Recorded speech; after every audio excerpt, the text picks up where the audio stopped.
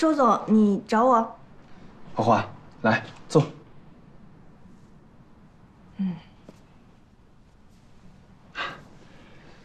想喝点什么？红茶？啊，不用了。嗯，是这样的，我们之前呢有些冲突，我觉得是没有沟通好造成的，所以今天呢想约你来好好聊一聊这个事情。好呀，我也觉得我们应该聊一聊。嗯嗯，其实我之前也有做的不对的地方，我这个人就是有这样的毛病，一着急起来手动的比嘴快。今天早上真是多有得罪了。不，不，我知道你这出于好意嘛，而且我今天早上喝了你给我熬的中药，真的感觉身体好了很多。不得不说，中医真的是很神奇，是吧？你现在知道它的好了吧？我跟你讲，这个中医调理呢，就是一个循序渐进的过程。你第一个疗程只需要先喝三个月，然后你就会感觉。我明白，但是花花，你有没有想过，以你的才能只帮助我一个人，是不是有一些太浪费了？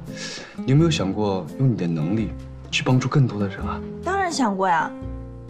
你知道仁济大学吗？那可是全国知名的中医学院。刚好跟斐然有学术合作，你只要通过考试，你就可以加入他们的研究院，为中医推向世界出一份力。你觉得如何？真的？君子一言。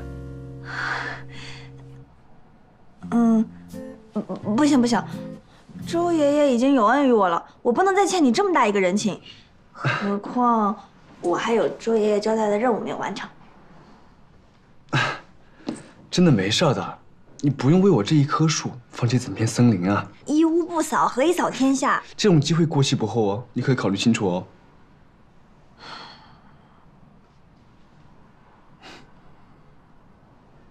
周总，师傅说过“无事献殷勤，非奸即盗”，你该不会是想借这个机会把我打发走吧？啊，怎么可能呢？我看你眼神中有躲闪，应该是被我言中了。好，就算里面夹杂着一些个人原因，但是我把你放到更适合你的平台去物尽其用，这有什么错呢？我可以走，但一定要等到调理好你之后。有病我会去看医生。有病就晚了。你凭什么管我？爷爷吩咐的。好，敬酒不吃吃罚酒是吧？那就不要怪我了。这是什么？账单。你昨天水洗我的定制西装是纯羊毛的，现在完全穿不了了。如果你还想在这里上班的话，就先赔偿你造成的损失。八百块，少看了个零。八千块，这这怎么可能？这哪里来的破衣服嘛？我怎么可能赔得起嘛？赔不起没关系。